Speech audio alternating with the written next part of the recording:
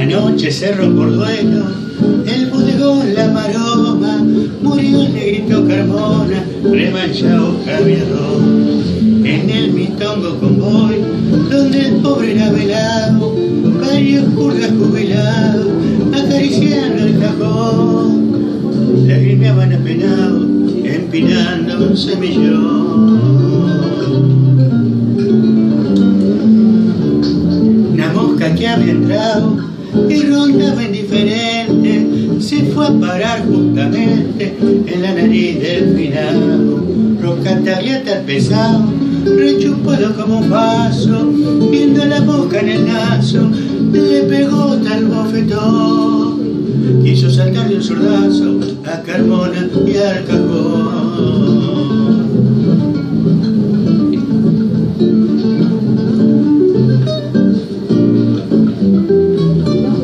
El Jonca quedó forfay y Grappini con un llanto sentó al difunto en un banco para que descanse en paz.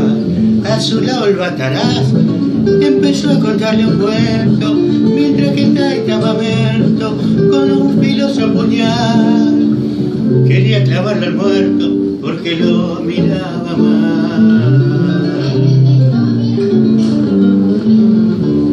El peluquero calmete, viendo el cadáver chimudo, se acordó de su laburo y lo afeitó hasta el copete. Cayó el punga firulete venían de una garufa empuñando un bandoneón. Y entre curras y papusas se armó una milonga flor.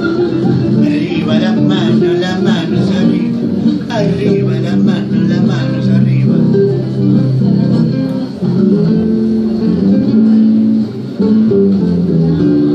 La milonguera René, apantallando al filao, creyendo que era un mamá, quería darle café. Melena y el yacaré estaban jugando al truco y el gorota Benvenuto, encargado del convoy, en camisón y confuso, rajó para el 32. Quería hacer la denuncia, boludo. ¿Cómo vas a hacer la denuncia, hermano? No ves que la estamos pasando bien. De pronto en esa reunión se hizo presente la yuta y a la curre la batuta, la farreando para el camión. Garramito y chicharrón se piantaron con el vino.